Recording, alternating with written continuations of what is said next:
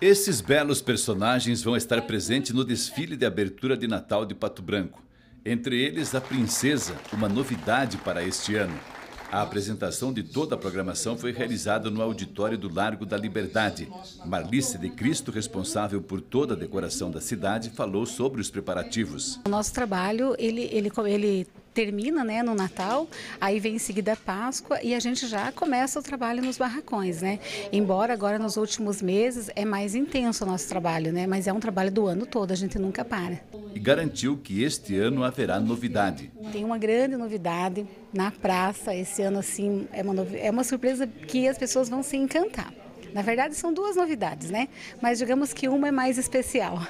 Para o tradicional desfile de abertura, que será realizado no dia 30 de novembro, a partir das 8 horas da noite, o trabalho também segue a todo vapor. De acordo com Simone Dalfovo, coordenadora do desfile, este ano serão 350 voluntários como personagens e mais de 10 carros alegóricos. Esses voluntários que vão nos ajudar no dia, empurrar carro, dirigir, tudo, nós vamos fazer uma chamada agora, essa semana no Face do Natal de Pato Branco.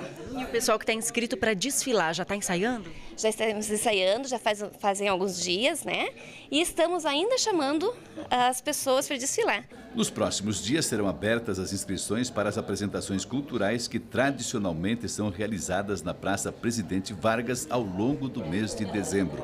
As inscrições estão abertas semana que vem, das 13h30 às 21h30, no Barracão do Natal, na rua Parigol de Souza 335.